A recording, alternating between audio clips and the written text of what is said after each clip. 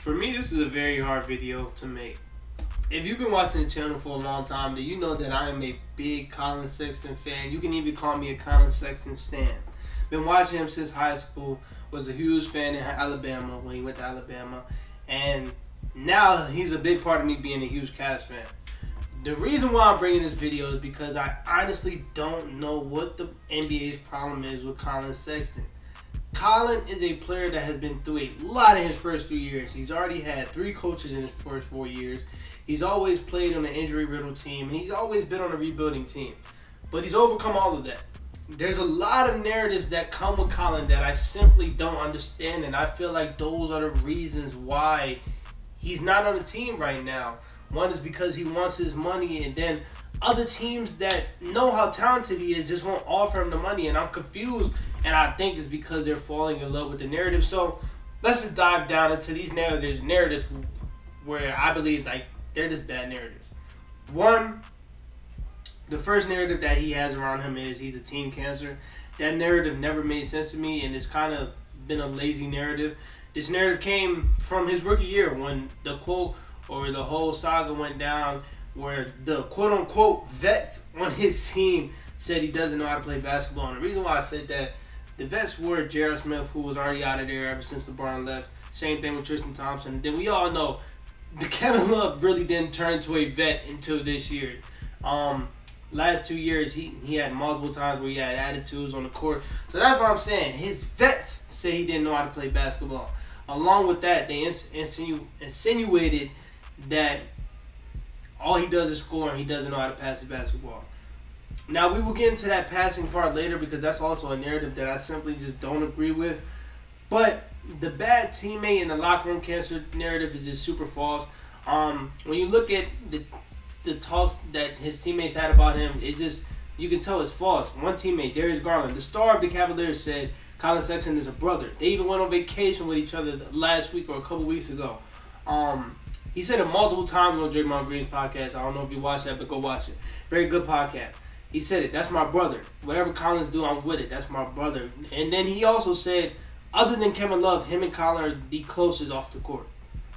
Isaac Okoro said, soon as he came into the league, Collin has treated him like a brother. Even though they, they, I wouldn't say they grew up with each other, but they're both from Atlanta, so they knew of each other. But soon as he came into the league, Isaac said Collin has treated him like a little brother. JB Bickerstaff and Koby Altman said Collin Sexton is the hardest working player they've ever seen.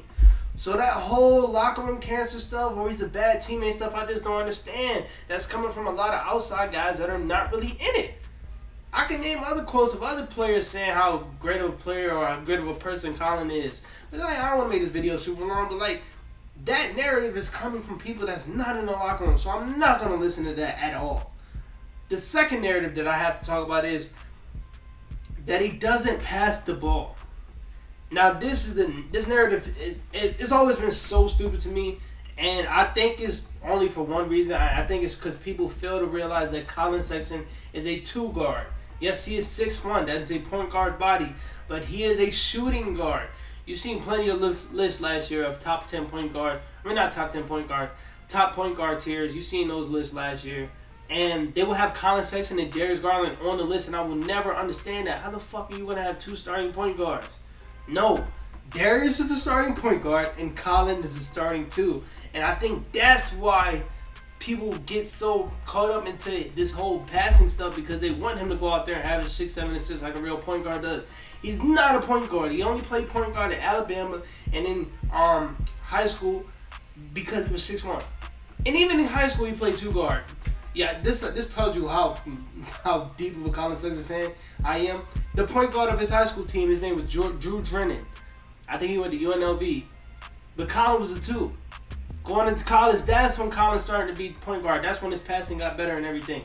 But in high school and in the NBA, he is not a point guard. Ever since they drafted Darius Garland, they drafted him because they know Darius is a real point guard. Collin is not a real point guard. He's a two. Now that being said, the average amount of assists coming from a two guard is 3.3 assists. Now Collin's last healthy year, he did average 4.4 assists. So why are we so fixated on his assists? If he averages 4.4 assists while being a two guard, he's not a point. Y'all want him to average the seven and six assists, thinking he's a point guard. He's never been a point guard. He's not a point guard.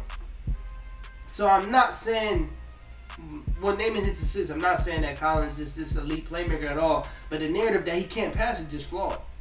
In games where Darius Garland didn't play in the 2020-2021 season, Collins averaged six assists. We didn't get that much wins because also we had the injury bug. If you go see how much games Darius Smith, if you go see how much games um, Jarrett Allen missed, if you go see how much games Kevin Love, Kevin Love played like damn near 20 games that season. We had a very injury riddled team for two years in a row. Hopefully we can erase that this year. But in that span where Darius Garland didn't play, Collins averaged six assists. He is a capable passer, a willing passer. His passing got really better. It sucked to see him get injured this season because in the 16 games that he played, he didn't average the 24 points that he used, usually averaged, but his passing was actually really good, and I can tell he worked on it. But this whole narrative that he can't pass, that's just, again, another lazy narrative. Now looking at Collins as a player, there's not 50 players better than him when he's healthy. It's not. You can't just find a guy who average 24 four assists on 47% shooting and 37% from the three. That is just super consistent. He's uber consistent. And second year, he averaged 20 points, um, and I believe 48% from the field and 40% from the three. As consistent as as he gets. Him winning his money is not something with his ego.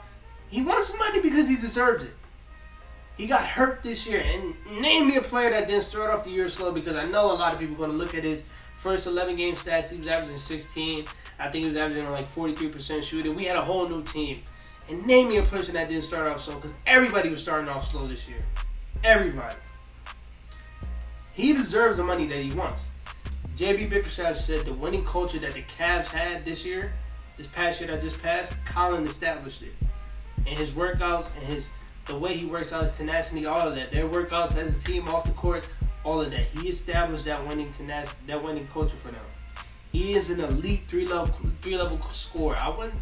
Matter of fact, let me you that. I don't know if I'd say elite, because this three is mostly on spot up. The mid range of finishing, some of the best in the league. Mid range for guard, one of the best in the league. He averaged 12 points in the, in the paint last year. Like finishing, he got that too. Like that's what I'm saying. He's damn near an elite three level scorer. Damn near. Um, now, coming off an ACL injury, a lot of people might be scared. But my whole thing is they don't they don't really fear me no more. I know that's a crazy thing to say, but ACL injuries don't fear me like that no more, man. We had Clay, KD, John Wall, and even Boogie Cousins. They came back as more skillful players, and a guy like Collin, that's what he needs. To comeback as a more skillful player, being able to get his buckets in different ways.